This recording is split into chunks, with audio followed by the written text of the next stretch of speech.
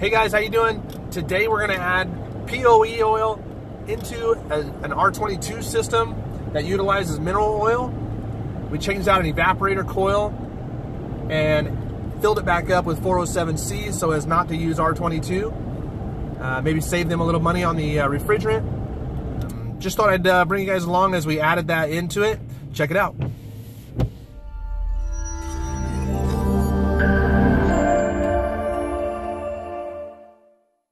Okay guys, we're gonna um, pump some uh, POE oil into this R22 system that utilizes mineral oil as its lubricant.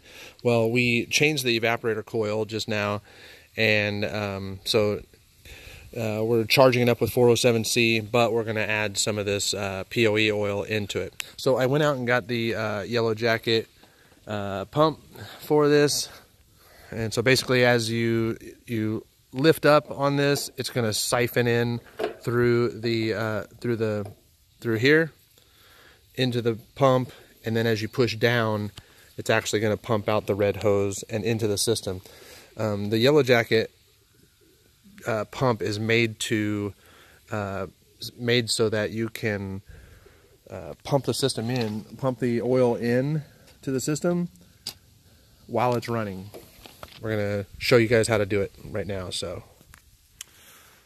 Okay, so we already uh, we've already primed this hose up by siphoning in the uh, oil down here, and so we know that we've we've we've pulled up on this, and we actually opened that, and we siphoned it in, and we pumped it out, so that we're prime down here. So now we're going to shut off our valve there, and we're going to hook it up to the low side.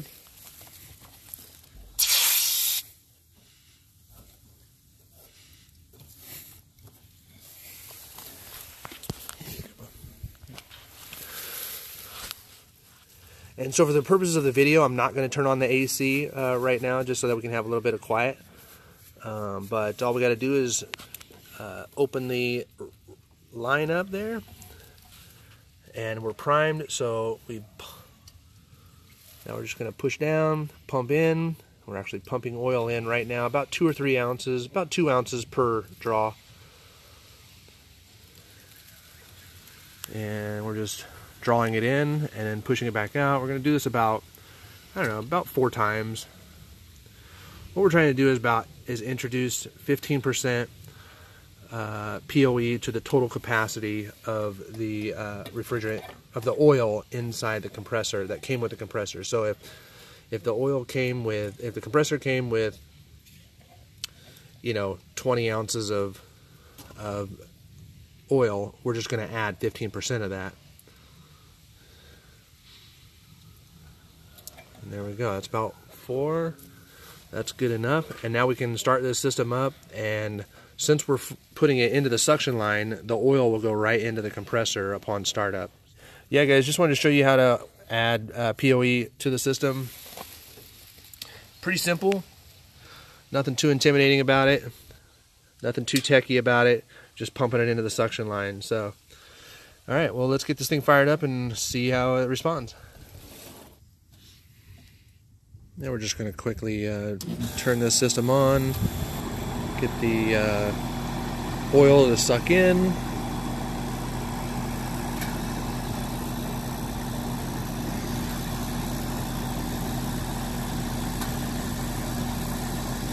And we are good to go. So now that uh, now that six to eight ounces of POE oil will now mix around with the mineral oil that's inside this system uh, and help with the uh, return of the oil back to the compressor. Okay guys, just wanted to show you a little bit of something else here. Uh, my friend Nate Hicks on uh, YouTube and Facebook reminded me that uh, the this unit comes with just a 3 8 male uh, uh, threaded fitting on here, flare fitting. So we actually went and bought the 3 8 to quarter inch, thanks to Nate giving us the heads up on that.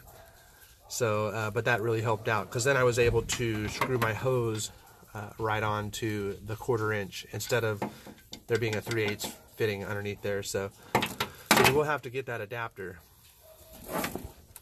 Uh, the other thing that was uh, kind of brought up to me uh, is kind of all the oil that's all the oil that stays in the uh, line afterwards. It just kind of, it's just kind of everywhere. so it's just everywhere. I think it's going to take a while to get all this out of that hose. So got to watch out for oil.